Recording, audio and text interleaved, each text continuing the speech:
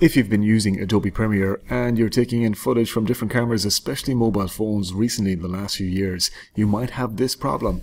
You might see your screenshots coming up in the source window and in the program window either green or pink or different things like that. This video is going to show you how to solve that really quickly.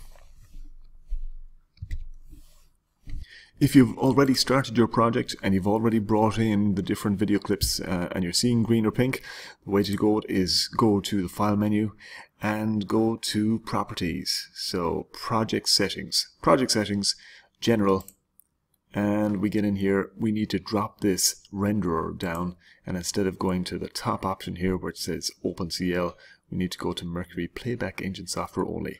You might recognize that from the uh, beginning of setting up the project for the first time. I'll go through that in a minute. But as you can see, my greenness is gone, but also works for pink as well. And if you know that you're going to experience green or pink problems in your footage when you're setting up your project, this is where that setting is again.